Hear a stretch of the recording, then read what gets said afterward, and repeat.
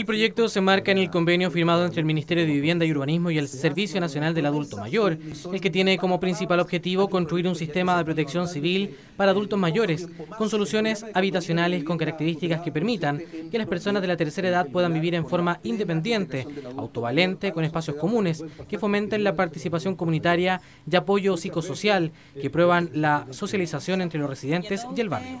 La provincia de San Antonio es una de las más envejecidas de nuestra región. Comuna del Tavo supera el 20% de adultos mayores y esta es una tremenda política pública que va a beneficiar a, adultos mayores con viviendas que son eh, de 45 metros cuadrados, donde pueden vivir solos o en pareja eh, y efectivamente significa un mejoramiento de su calidad de vida. El condominio se construirá en calle Las Salinas, sector Las Cruces, con una inversión MIMBU de más de 550 millones de pesos, con faenas a cargo de la empresa Diegues Arquitectura y Construcciones Sociedad Anónima. Contará con viviendas pareadas de 45 metros cuadrados cada una, con dormitorio con espacio para dos camas, baño y cocina americana, con estar y comedor, además de espacios comunes como áreas verdes, estacionamiento, sala multiuso con comedor común y oficina de administración. Más de 530 millones acá en la, en la comuna del Tavo, bien merecido para los adultos mayores, es una segunda mm, un segundo condominio de viviendas tuteladas que se está haciendo acá en la provincia. Nuestros adultos mayores se lo merecen, merecen vivir con dignidad.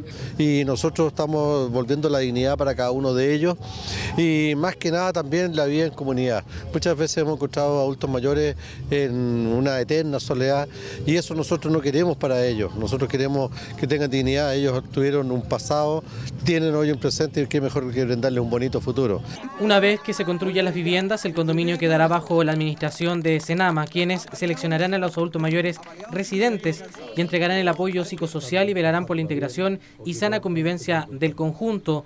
Yo vivía de allegada en la casa de, de mi hermana y éramos 17 personas, nos lo estaba pasando bien y para mí fue un regalo.